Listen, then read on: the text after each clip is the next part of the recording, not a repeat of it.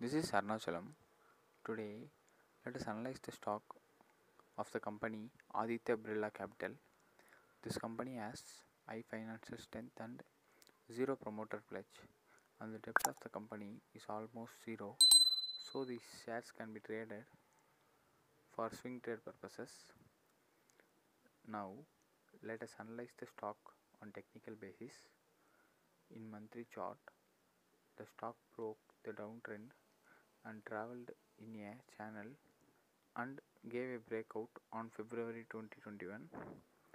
Now, in weekly chart, the stock broke the channel and took a perfect retracement at the demand zone of the channel and in the long term demand zone. Now, let us analyze the entry and target of the stock in the daily chart. In daily chart, it seems that the stock is in a smaller falling um, triangle pattern.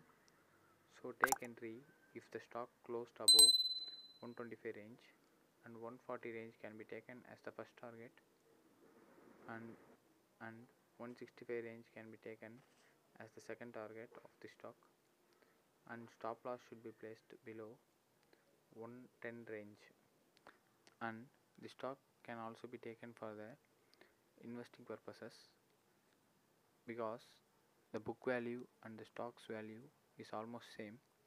So this stock can be traded much more from the current price. So that's all for today. If you like the video hit like button. To get our videos immediately subscribe to our channel and press the bell icon. And feel free to comment below your questions and suggestions.